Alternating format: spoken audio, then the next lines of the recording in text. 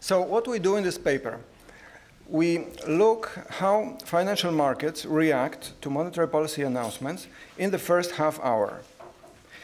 And then we separate the effect of news about monetary policy in the announcement and news about the economy. Then we track how the economy responds. We do it for the US and for the euro area, and we use a, a vector autoregression. What we find is the following. So first, market reactions reflect both news about monetary policy and news about the economy. And the latter account for a non-trivial share of, uh, of the variance, as much as 35% in the US and even 45% in the euro area. And uh, depending on the mix of news in the announcement, the response of the economy is very different. So a surprise, we find that a surprise interest rate increases are contractionary when uh, they reflect news about monetary policy, so when they uh, re reflect a monetary policy shock. However, they can also be expansionary, th this happens when they reflect um, uh, news about the economy. So the main implications are twofold. First, um, uh, private agents uh, learn something about the economy, not just about monetary policy, from central bank announcements. And second, these news about the economy, they attenuate the standard estimates of monetary policy effects, yeah, because we mix expansionary with contractionary shocks. So the plan of the presentation is the following.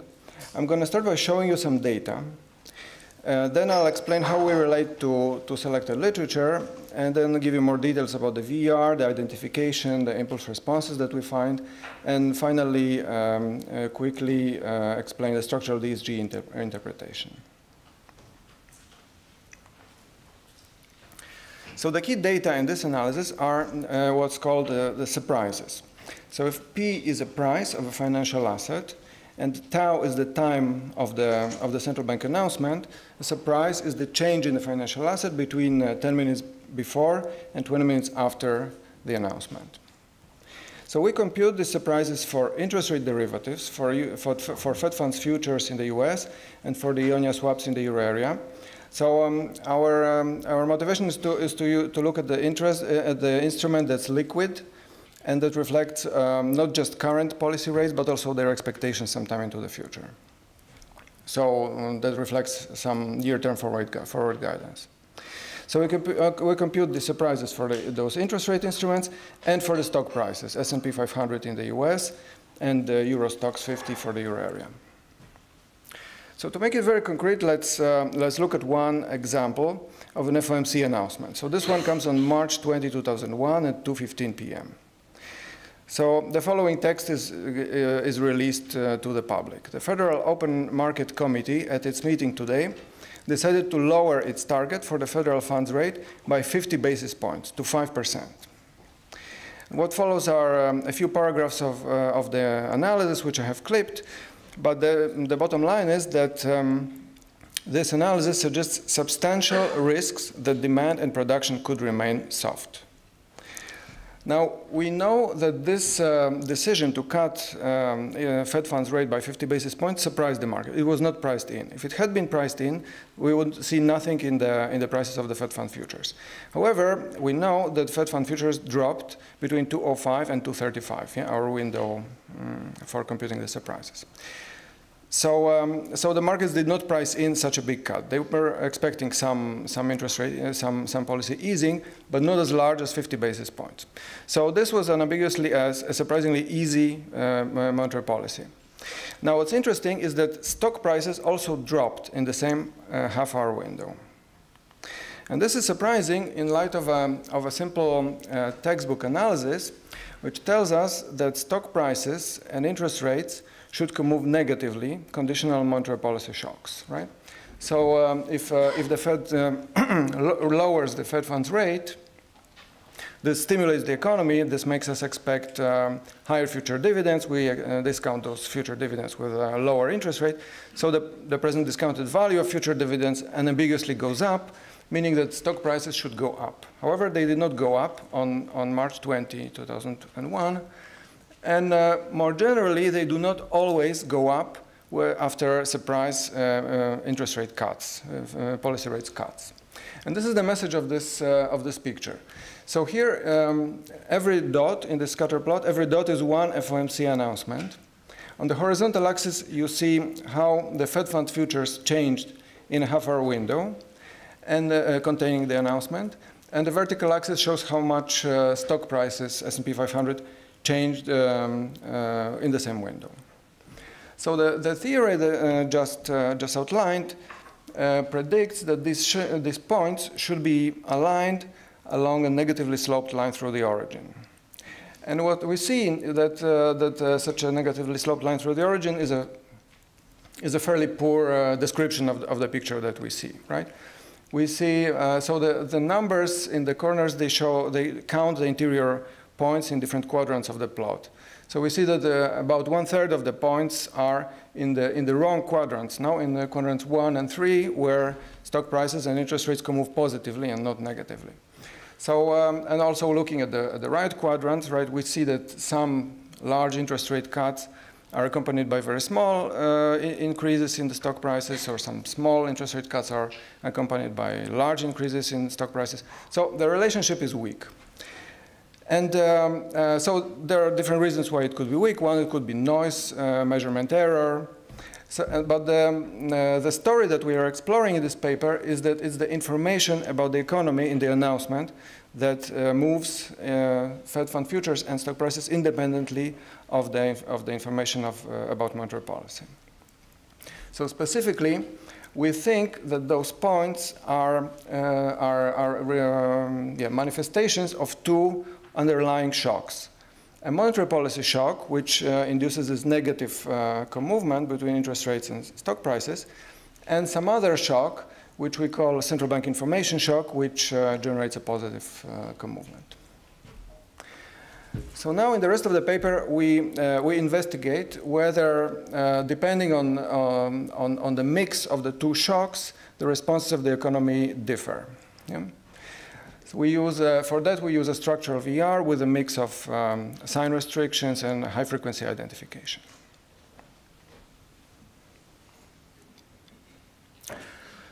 So um, that's, um, so that, that's, uh, th that's what the paper is about. Now let me say how we relate to, to some selected literature. First, there is um, a, a, quite large literature, which is here represented by just a few citations, that studies interest rate surprises as proxies for monetary policy shocks, and then uh, uses the, the, those proxies to estimate the effects of monetary policy. So what we add to, to this large literature is, is, the, um, uh, is adding the information shock.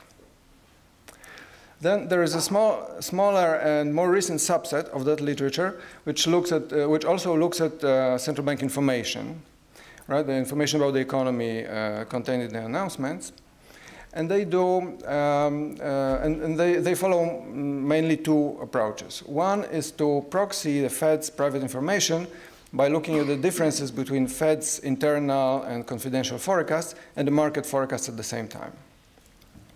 Another uh, strand of this literature looks at the, at the, announcements themselves and uses text uh, processing tools to, to process these uh, and interpret these announcements. So we don't do any of this. We uh, outsource it to the markets to read these announcements for us and to, yeah, to, to appropriately digest them and to, and to, to, to react you know, um, according to, to what's surprising in them and to what extent uh, they, they contain surprises. So we've recently learned about these three uh, papers that also uh, follow this, broadly this approach. So they also use market reactions to tease out the information uh, shocks from, from the announcements. But they differ in, in various implementation uh, details and in, in, the scope. So finally, I want to mention uh, models of the information channel of monetary policy by Nakamura and Steinsson and, and uh, Melosi. So the, these are models when there's, where there's some uncertainty about the economy, and um, uh, agents figure out from interest rate decisions what, um, yeah, what the central bank thinks about the, about the economy, and this helps them sharpen their own, uh, own views. And, but what we add to, to this is we add an independent uh, communication policy. So agents learn not just about, from interest rate decisions, but also from what the central bank talks, yeah, how, how it talks about the economy. Moreover, we use a VR. So let's get to, to the details of this, of this VR. So I'll, I'll focus on the, on the baseline model that we run for the US. So this is, um, uh, so we have a vector of seven variables. The first two are, are uh, the interest rate surprise and the stock price surprise. We map those, uh, those uh, half-hour, those, uh, those uh, intraday surprises onto a monthly indicator because our VR will be monthly. So we construct a monthly indicator that collects any surprises that occurred uh, in, a, in a given month. Um, the, the, source is, is, is, uh, is, is well-known uh, data set. And then the following five variables are the standard macro and, and financial variables, such as uh, government bond yields, uh, stock prices, but this time the monthly average of them, GDP and GDP deflator, and the excess bond premium uh, as a proxy for financial conditions. So these are our these are the variables uh, in our VR, and we and we run a VR. Now the only thing that's unusual about this VR is that the first two variables they're IID, right? They are surprises. So by definition, they're not uh, they're not predictable from the past of uh, of anything else. And therefore, uh, we, we, we, we, this motivates the zero restrictions in, in the VR. Um, other than that, um, uh, the, the, the, VR standard, and we estimated with standard Bayesian uh, methods with, with standard uh, priors. And um, so the, the, the, Gibbs sampler with which we obtain the, the posterior also allows us to, to impute the missing, uh, the missing values of uh, M that, uh, that sometimes occur. So now this is the, the crucial slide, and it shows uh, how we identify uh, shocks in this VR. So we identify just two shocks. So this table shows you what, uh, the restrictions on the impact impulse responses that we're imposing. So, uh, on, on all, all variables uh, and, and for these two shocks. So the first two variables are the, are the surprises. And, we and the zero restrictions reflect the fact that these, uh, these surprises are measured in, in a narrow half-hour window, and therefore they're unlikely to systematically represent uh, all other shocks uh, that are happening uh, in the economy. Right? Now, um, uh, the, the sign restrictions um, reflect our, our um, assumptions about the co-movement conditionally on, on both shocks that we, that, that we investigate. So notice that we, so all our restrictions are on this high frequency part of the VR. We put no restrictions whatsoever on the low frequency variables, on the, on the Ys. Right? Dot means uh, no restriction. So, um, so this decomposes uh, the surprises into two orthogonal shocks. And uh, what we impose are just signs of the co-movement, right? So this, this is a set identification. This is not a sharp identification, which means that there is, a, there is, there is um, uh, uh, there's, an uncertainty, uh, there's an uncertainty about the rotation. Yeah? We, are indifferent about any rotations of the two orthogonal shocks that are still consistent with, um, with the sign restrictions, and this inflates our error bands appropriately. Now, as a robustness check, we do something much simpler than that. Uh, namely, uh, it's something that, for, for lack of better idea, we call the um, poor man's sign restriction. So this is um, the procedure. In this procedure, we just uh, we just manually uh, classify events as either um, uh, as either policy shocks or information shocks based on the co-movement. Yeah? So whenever the co-movement is negative, we classify we classify it as a, as a monetary policy shock. When it's positive, we classify it as, a, as an information shock. And, uh, yeah, and, and, the results are similar for, for uh, in either case. So now, uh, for comparison, um, let, us consider the standard high-frequency identification in which um, uh, one just uses a single surprise, an interest rate surprise. And, um, and this single interest rate surprise is, a, is, is, considered as a proxy for a monetary policy shock. So here we abstract from uh, information effects, like most of the literature, and we just use the VR to track how the, how the economy responds to, uh, to, this, uh, to these interest rate surprises. So let me now start with, uh, with the results, and let's actually start with the simple, uh, with the standard high frequency identification. So these are the responses of the, of the, um, of the, of the variables in our VR to, uh, to, a, to, a, to a one standard deviation positive interest rate surprise. So in the first row, you see, you see just a blip, yeah, because the surprises are just blips, yeah, they're IID. So that's by, that is by construction. And then in the following rows, you see how the low frequency variables in the VR uh, respond. So you see um, a protracted increase in the, in the bond yield, um, decline in the stock market, and gradual effect on GDP and, uh, and prices, and some increase in the excess bond premium.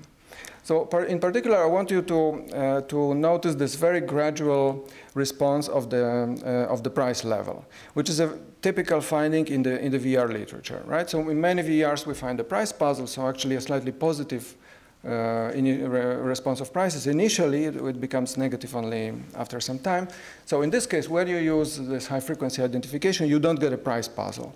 But uh, still, the, the uh, response of the price level is extremely uh, slow. So now let's uh, run our, our uh, more sophisticated VER that distinguishes these two shocks, monetary policy shock and uh, central bank information shock. And in the first two rows, this time we, we need two surprises to, to, to, um, to uncover these two shocks. And the first uh, two rows, you again see blips, and moreover, these blips, they're not surprising because they just reflect our identifying assumptions. Yeah? So let me now just zoom in on the low frequency variables that are uh, unrestricted, and therefore the, all the results are, are sitting here. So you see that this, this sign restriction that we impose, the restriction that we impose on the co-movement of the interest rate and stock price surprises, that this uh, simple restriction separates two completely different shocks. Yeah, a contractionary shock from an expansionary shock. Yeah, so both shocks in both uh, the second and third column, you see, both shocks are associated. You see that both shocks are associated with uh, with an increase in the in the bond yield. Yeah, but here the similarities end. So uh, the, all the re remaining re impulse responses are exactly opposite. So after a monetary policy shock, you see, um, you see a contraction, and after the information shock, you see uh, an expansion. Now, um, and if you compare the, the, for example, again, the GDP deflator, yeah, you see that the response of, uh, of it is, is much more vigorous than uh, in, in, the case where we just use uh, standard high-frequency identification, right? So in light of our analysis, this very gradual response of prices is um, just um, uh, you know, an effect of a, of a mix of uh, surprises that cause a pretty vigorous uh, response of prices and, some and, and, other types of surprises that of, of uh, yeah, central bank uh, surprises that cause an increase in the prices. Yeah? And uh, after you mix the two, you get this very, very gradual decline because in the end, monetary policy shocks dominate in, in this mix. So this is so this is the this is the the the, the core result of the of the paper.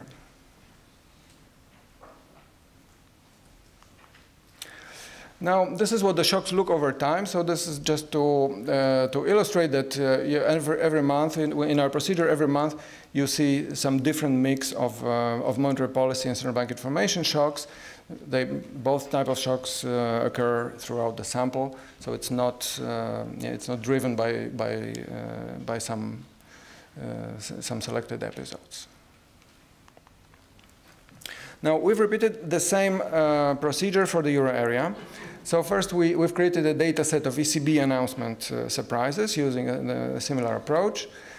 Uh, we have 284 ECB policy announcements from 1999 to 2016, and we cover both press releases and press conferences, where also a lot of information is, is released, and, and, and, press conferences have been a, a standard feature of, uh, of, of communication of the ECB since the start.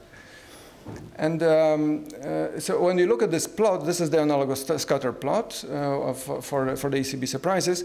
When you look at this plot, you see that the negatively sloped line through the origin is an even poorer description of this, uh, of, the, of what's happening here. Yeah? So if anything, the mix, there is even a more even mix between um, uh, monetary policy shocks and, and information shocks.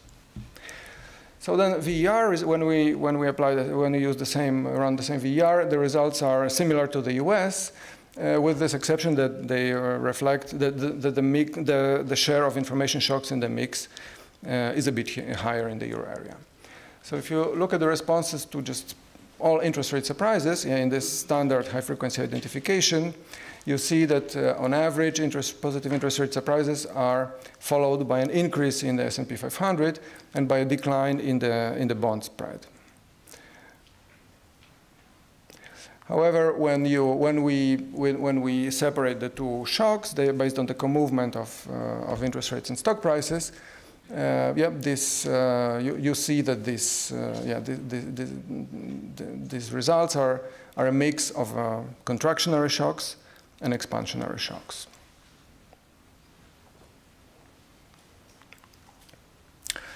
So now we, uh, what, what, does this imply for a, for, for a, for a standard a calibration of standard uh, DSGE models? No? So we look at these results through the lens of, um, of a DSGE model, a la Gertler-Karadi, a new Keynesian model with financial frictions, and we match the impulse responses.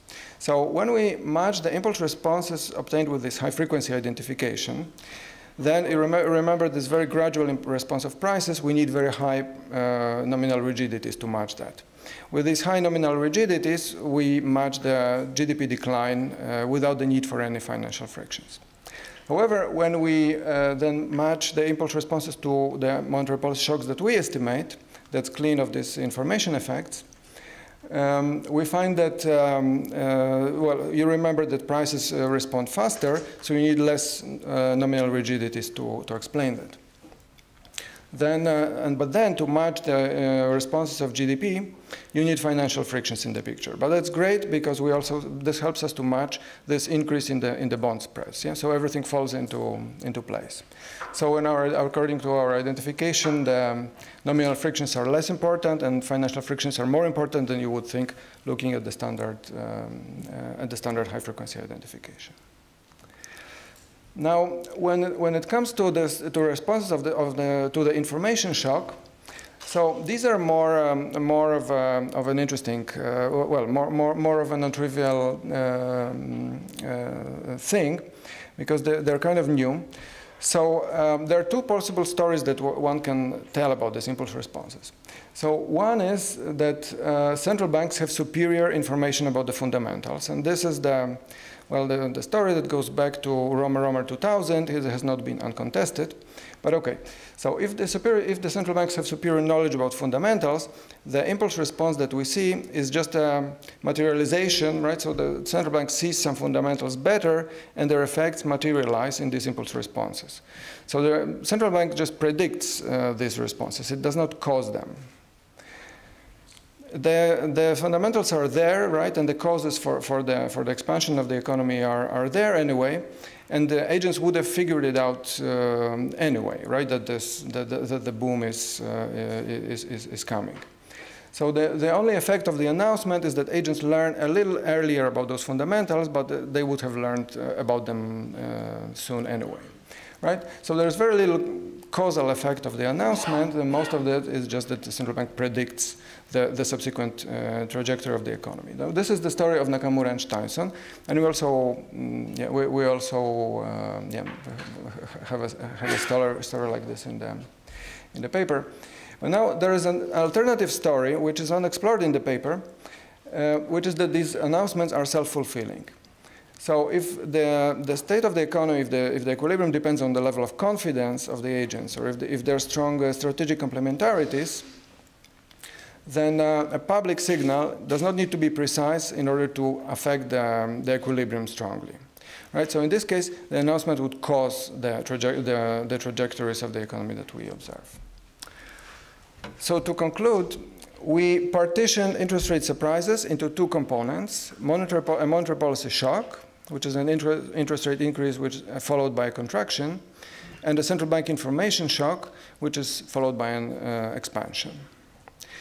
Uh, the lessons, first, uh, the effects of monetary policy on the economy are, are, are stronger uh, than if, if, you, if you ignore these information effects. And the second, central bank information is relevant. However, we don't know if it causes or if it merely predicts the trajectory of the economy. Thank you. Thank you very much, uh, Marek. The discussion is uh, Refet.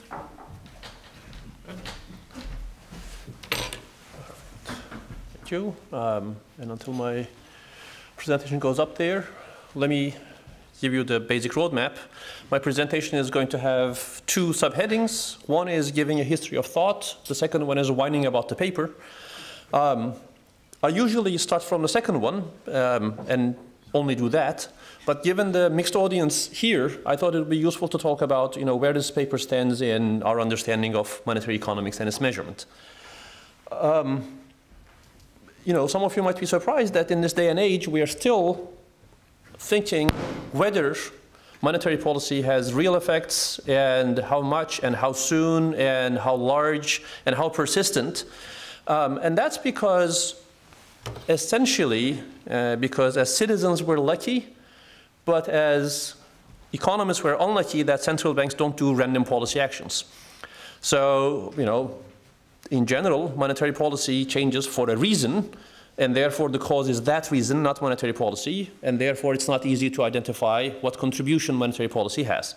Right? Okay. So usually, um, going back at least 40 years, right, we use VARs with quarterly data because GDP is measured quarterly, and we care about that, right? Um, and those VARs would have something like, you know, let's say GDP and inflation and monetary policy, right? Some interest rate. And the issue there is how do you identify the exogenous monetary policy innovation, right? Um, the standard is the Cholesky factoring. That's essentially a bunch of zero restrictions. And it says, okay, you know, that which is affected by other macro developments this quarter but does not affect them is the monetary policy surprise, right? Um, and that thing is called a shock. And that language is important. A monetary policy shock is a orthogonal innovation in the policy. And the orthogonality condition is with respect to the state of the economy. It's orthogonal to GDP and inflation, right? Good. And then you can trace out what that shock does to other stuff. We could think of other restrictions to identify, right? You know, we can think of sign restrictions, we can think of long run restrictions, we can think of other zero restrictions. There are many. Um, but they all have the same idea, you know, place enough restrictions such that you're going to identify something that's orthogonal to the current state of the economy, and you can tease out this effect on variables of interest. Now, this leads to various puzzles. The best known is what Marek already talked about, is the price puzzle, which is in a VAR of this sort, right? Um, if you have a monetary policy shock today, inflation first seems to go up. And we kind of understand why. That's because your VAR is too small. Your central bank actually knows more than what is in the VAR. These guys aren't stupid. They see that inflation is coming. They raise interest rates, but your VAR doesn't capture this. So it seems like higher interest rates are causing higher inflation initially. Okay? So, and, and this is something important. This is the beginning of the information problem. If the central bank knows more, then I'm going to see this in the VAR in weird ways. Okay, good. Now, a kind of parallel literature is is to say, okay, we give up on this high frequency, you know, orthogonal shocks to the state of the economy altogether, and we're going to look at things that are very high frequency, where identification is trivial. I'm going to look at, you know, what happens to the, let's say, the 10-year yield, you know, in the 10 minutes around the announcement of the policy. Okay? Their causality is clear. Policy does not react to what has happened to the 10-year yield, you know, five minutes ago. Okay? If there is a systematic relationship, clearly the causality goes from policy to your high frequency other variables. Good. Um, this goes back to work of Cook and Hahn and others, but the good work begins with the paper by Ken Kuttner who says, you know, we can measure monetary policy surprises from market-based indicators and use these precisely measured surprises as controls for the effect of monetary policy on other asset prices. Good. You do that, and what you measure this time is called a surprise. That too is an orthogonality condition, but this time the condition is that the innovation is orthogonal to the information set of the market participants. These guys have learned something that they didn't know before. What they learned is, ooh, monetary policy tightened by 25 basis points. I thought they wouldn't change it now. Okay? Now, these two things, the VAR shock and the event study surprise, will be the same under certain conditions. In particular, if the market participants know exactly what is in the VAR. If those information sets overlap, then what is a shock for the VAR is the same thing as what is a surprise for the event study. If they differ, then they measure different animals. Cool. All right. Now, what is nice here is we no longer haggle about identification. However, we don't know how to move from here to, you know, now that I measured the surprise, since this is not a VAR shock, I don't know how to think of how this relates to inflation, you know, six quarters from now. All right. It is also the case that if you run these high frequency regressions, you're going to find much higher R squareds for fixed income stuff than for stock prices. Okay? And that's something very relevant for this paper. In the standard line, I'm a big proponent of this, is, you know, who understands stock prices anyway? And monetary policy has multiple effects because on the one hand, you're jacking up interest rates, you know, bad for stock prices. On the other hand, you're probably jacking up interest rates for a reason. If, if the stock market participants think that, oh, the central bank thinks things will be better, that's why they are raising interest rates, then this is higher expected dividends in the near future, right? So these two effects pull in opposite directions. And in fact, this is the main identification mechanism in this paper. All right. Now, in between, if you run these regressions, and if you haven't done this, you're going to be surprised mildly. You know, take the half an hour around the FOMC release, look at the change in the 10-year US yield, right, and ask, if I run a regression of this on the policy surprise, what is my R squared, okay? You know, do it on the three-month yield, your R squared is essentially like one, Right? On the 10-year yield, it's about 8%, which makes you ask, you know, what the hell is the other 92%? Right?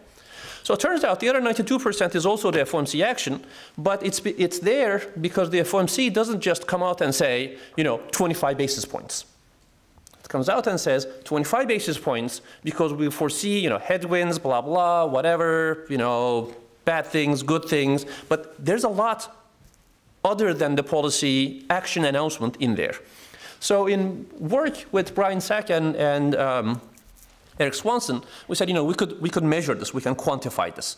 We can think of monetary policy as a two-dimensional animal where the central bank does something and says something, and saying something actually has a lot of effect on longer-term yields. Now, this is a, we used to call this target and path. Path is now what is called forward guidance, but that language hadn't been invented yet. This is a very particular case of central bank information where the central bank informs the public of its own future actions that it perceives itself following.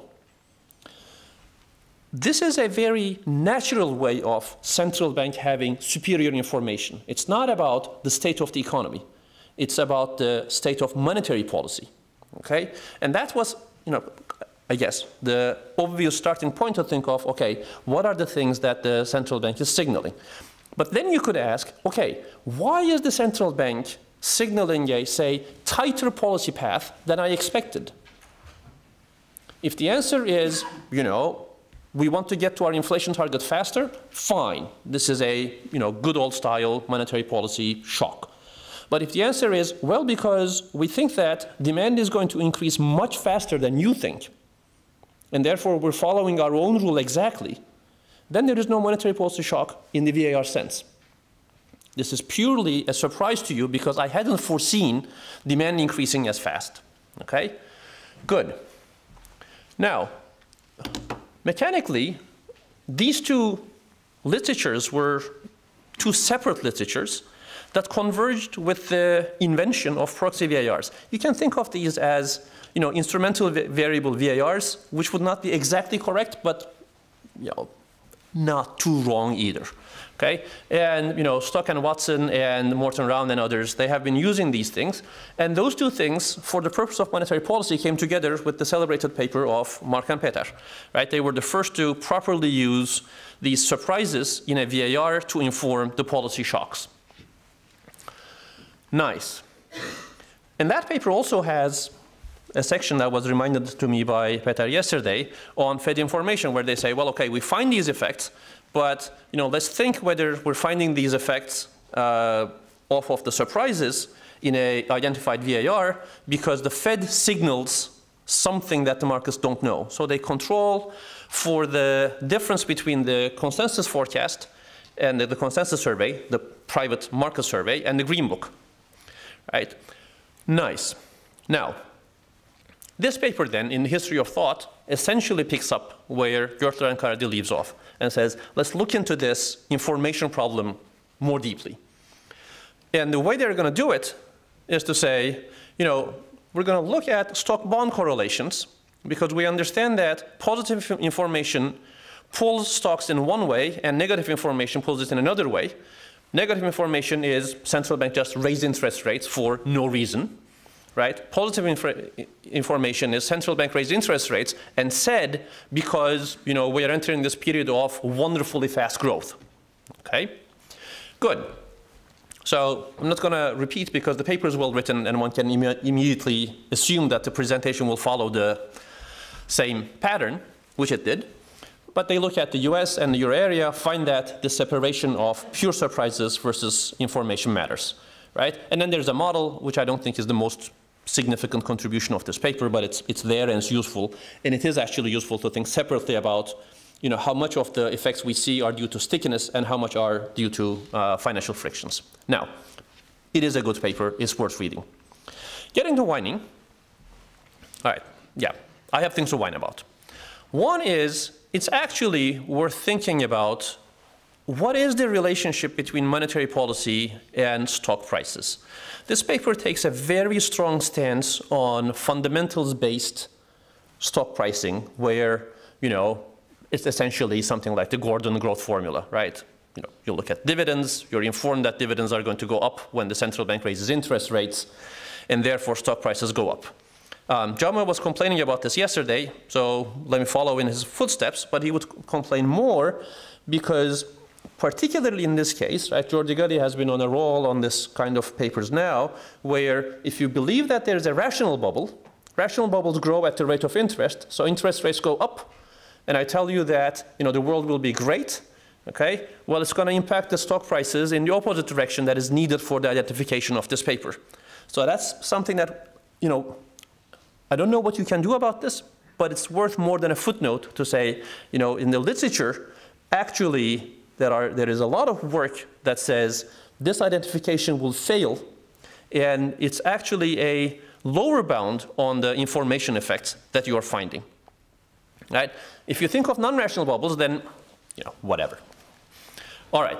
So, but that, that assumption, I think, should be a clearly articulated assumption. The other thing is, it's actually really important to think about what one does when one backs out surprises, shocks, whatnot, in market-based mechanisms.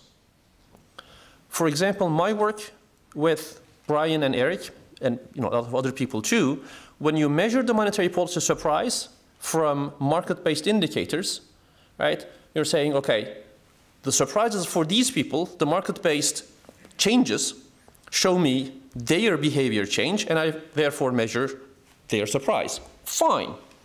On the other hand, when you do the same thing for central bank information revelation, you can think of doing this in two ways. Let me give you the example of, again, the central bank's path. It might be that the central bank in, had in mind, you know, we're not going to change the path much, but they bungled the words. And I perceived a huge change. Or they didn't bungle the words. It's just that I didn't know how to read it. Okay?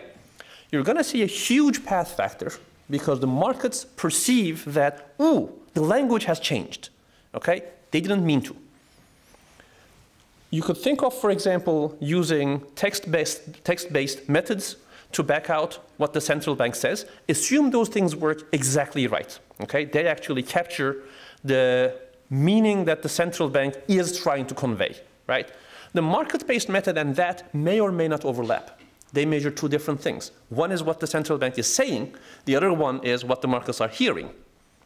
Now here that becomes really important there's work by Giovanni Ricco and Silvia Miranda Agrippino that says, you know, let's take these market-based surprises that are also used in this paper and regress them on the Green Book and the past Green Books and the changes in the Green Books, which are not observed by the markets at the time of that release, right? We're going to think of the fitted part of that as the information revelation and the residual as the you know, pure surprise, okay? Which is not too different from what Mark and uh, Peter did in their paper, in spirit. But it is very different from what is done in this paper, where you don't condition on the actual information of the central bank at all. What you're measuring is the information perceived by the markets. If you were to run an event study regression afterwards, this would be fine. If you were to ask, you know, what does the perception of this information do to asset prices? This is fine. But if you're going to ask, what does it do to the real economy? Then you better be correctly doing that decomposition. It better be the case that the signal received is the same thing as the information signaled by the central bank. This method does not guarantee that. Right? So there is nothing in this method that forces the stock bond correlation based decomposition to be also correlated with the information that the central bank has or is trying to convey. Okay? Thus, what is happening here is if the market is misperceiving the central bank information, right, and you're using this to inform VAR shocks, these are not going to be good instruments. You're going to be using a very noisy instrument to proxy for your VAR, or proxy in your VAR. All right. The other thing here is the following. The paper has a very nice bit that says, you know, the Fed wasn't always issuing these statements. So when we look at the stock bond correlations in the non-statement period and the statement period, they're actually kind of different. And that difference is informative. Okay? I agree. But then, you know, the gold standard of that is in this building. Because you always have the release preceding the statement right? Um, so for the purpose of the proxy VAR, the two event windows for the euro area, which are the press release and the press conference, they're essentially combined together, which is the right thing to do for the purpose of this paper. But to think about how this is working out in action, it's actually very useful to separate these. And um, a great new paper that will hopefully be written by Carlo Altavilla, Roberto Motto, and others that I know because I'm one of the others, um, actually separates this and you know, looks at these in detail. So using that data set, and one of the things that we do there is, you know, we're building this Euro area intraday event study database that's going to be a standard resource and be updated, right? So when you look in the press release window, this is what your stock bond correlations look like, right? And it doesn't actually look all that much like the US. They are not like, you know, 50-50 all over the place. It actually looks like a good old-fashioned monetary policy surprise with some noise, right? It's really, and I think good for this paper, and I would have shown this, right? It's really in the press conference window that these things are all over the place, right? When the president begins to talk, then the stock market begins to take a life of its own that is not all that correlated to the monetary policy indicator that they use and I replicated here. All right. This is minor, but I'm going to say this. Um, there's a confounding factor that we were careful to think of, and you should too, which is smack in the middle of that press conference, the US initial claims is released. And the initial claims affects US stock, US stock prices, but also the European stock prices and the OIS here. So it's going to affect your correlations, and that's something worth controlling for. The R squares are low, but the R squares in these information regressions are also low. So we understand that apparently those low R squares does something large in the VARs. It's worth controlling for. All right. I'm going to leave with this. What the hell is the central bank information? What is it that a lot of people who are central bankers, I'm going to ask Frank, you know, what is it that you know that other people don't? This is actually really important. It doesn't have to be answered in this paper, but it is important that we think about whether the central banks know something about the future, know something about the nowcast, know something about their own preferences, know something about the steady state, but what is it? And this is because this Romer and Romer that gets mentioned all the time, it's actually, that result isn't there in the Great Moderation period. Central banks do not have an informational advantage in inflation forecasting during the Great Moderation period. And the Great Moderation period is the sample of this paper. In fact, the Romer and Romer result is almost entirely due to the Volcker disinflation, where he comes in and says, you know, we're going to disinflate whatever the bloody cost, and then tells the staff, forecast inflation, and they say it's going to fall, and yeah. Okay, so, so it's not clear at all that the central bank does have any informational advantage in forecasting, maybe some in nowcasting, but these are worth thinking about. Okay, and the other thing here is, I'm to skip this. That makes it important not to refer this as a separate tool. It's not something that the central bank can exploit. The paper uses this word, and I actually would, would shy away from it as much as one can, right? Because if it's a tool, then it becomes my question whether I want to, you know, correctly inform you, whether I want to give you the positive information or not. But then you're not stupid. You're going to figure out that if I'm not saying much, probably, you know, things are worse than I expected. And that general equilibrium is not a pretty general equilibrium, right? So, but it's useful to think of whether this is a tool or not, you know, whether it can be avoided, whether we want to use this, whatever. Not this paper. On the other hand, something not in the paper but in Marek's discussion or presentation was, you know, it's really important that we think of whether the link is causal. Is it that because the VAR is a causal mechanism if it's an identified VAR, right? So the early part of the paper reads as if, you know, because the central bank comes out and signals that bad things are going to come up, look, bad things are happening. That's probably not the case. That's not what the model is suggesting, right? But then we have to think of what is the case. All right. I'll let you read the conclusions and thank Frank for his patience. Thank you very much. Thank me. Thank you, thank you very much, uh, Refet. So we have um, 11 minutes for uh, discussion and answer. I suggest we get some questions and then I'll give the floor back to Marek. Annette and then Sebnem. I agree with Refet's comment that I don't think the central banks are actually that better informed than Deutsche Bank or Goldman Sachs. I think the, the main problem with this whole literature about the Fed information effect is that the Fed fund futures are a completely messed up measurement of monetary policy because if monetary policy is effective, then suppose you had a case where there was only a good and a bad state, and the central bank said, we will do whatever it takes to make sure the bad state doesn't happen, then, well, in a good state, you're going to have by a Taylor rule, the interest rate is going to be higher. And so you could see that a very accommodating monetary policy that basically made the bad state never happen would show up as an increase in the federal funds rate. And that's why when you look at the quadrants, you can get points where the stock market goes up, the futures go up. It's precisely because monetary policy works, not because the central banks are better informed.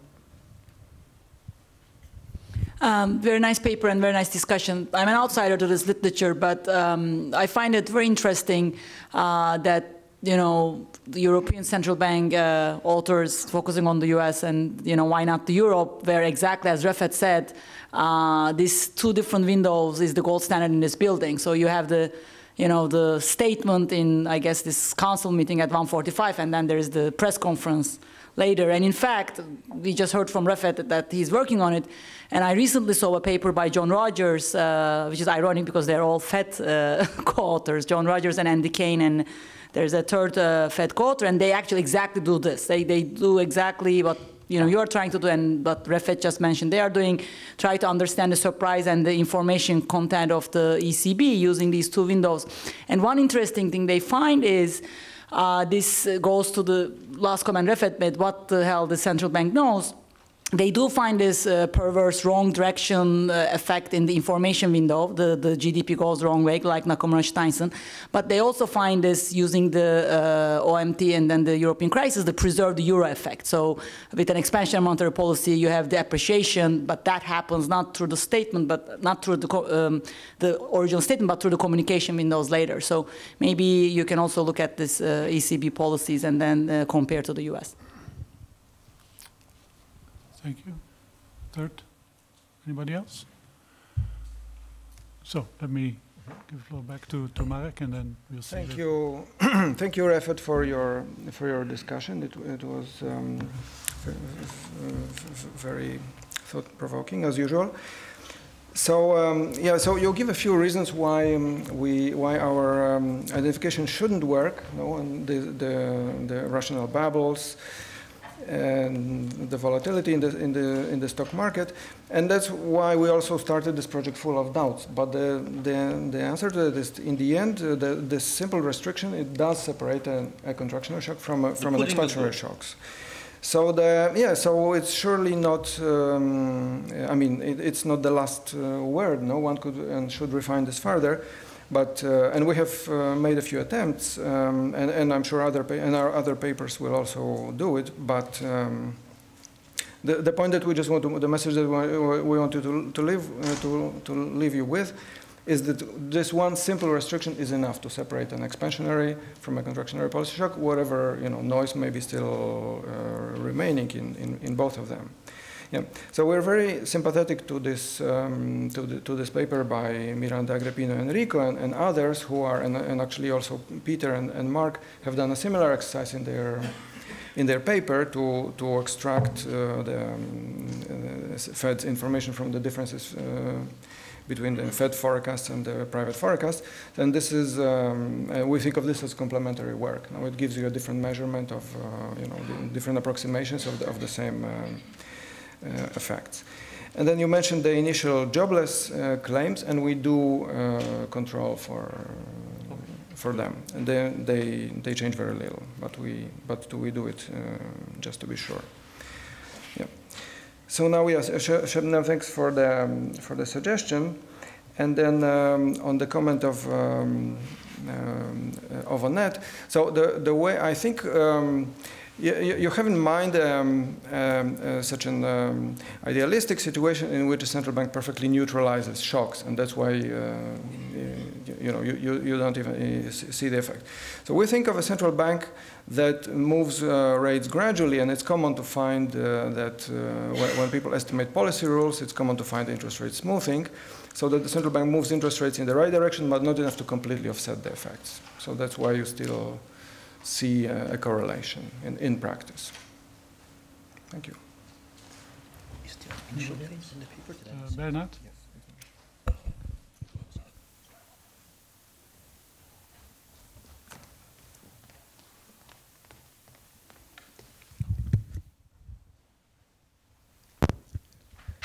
So uh, this is a great paper and a, a really excellent discussion.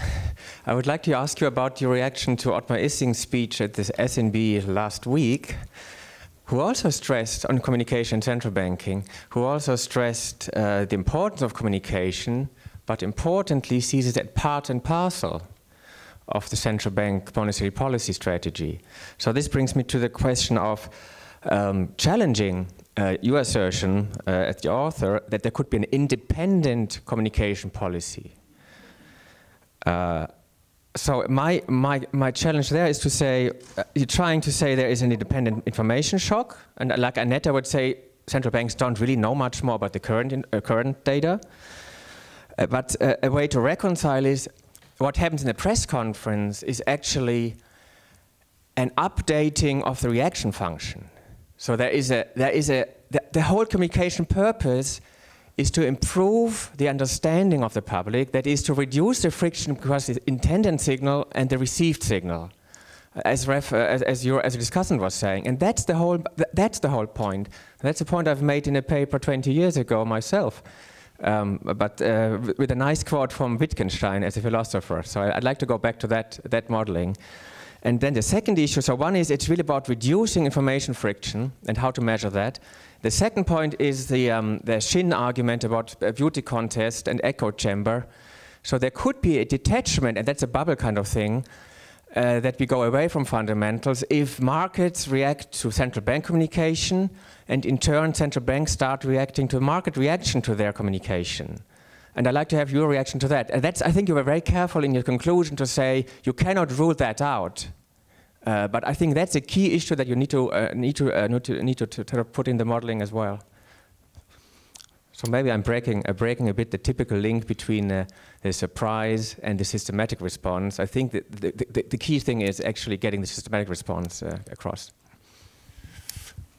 Okay. Any last questions? Maybe if I can just add one myself.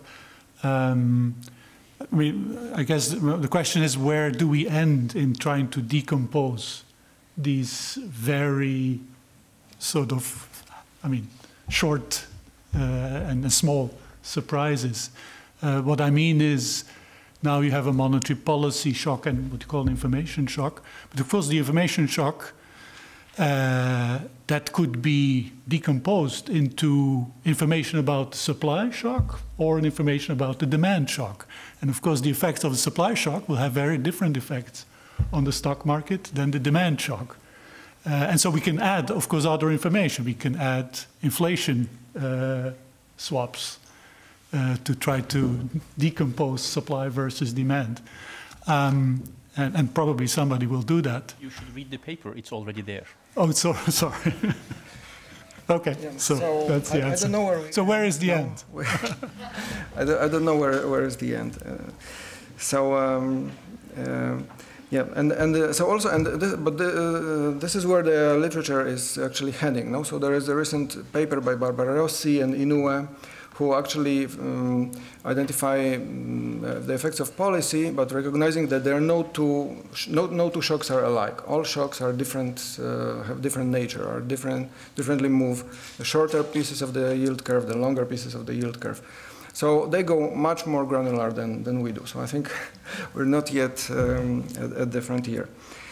And, um, and, and coming back to Ber- Bernard's question, so um, maybe the goal of, the, of communication is to update the, um, uh, the, the public understanding on, on the reaction function. However, so information about the reaction function, that's all captured in, our, in what we lump together as monetary policy shock, right? Because updates of the reaction function will induce this negative correlation between the interest rates and, and stock prices. So for our monetary policy shock captures current policy, forward guidance, and updates about, uh, about the reaction function. Okay, I think we're right on time. Uh, time for lunch, same place.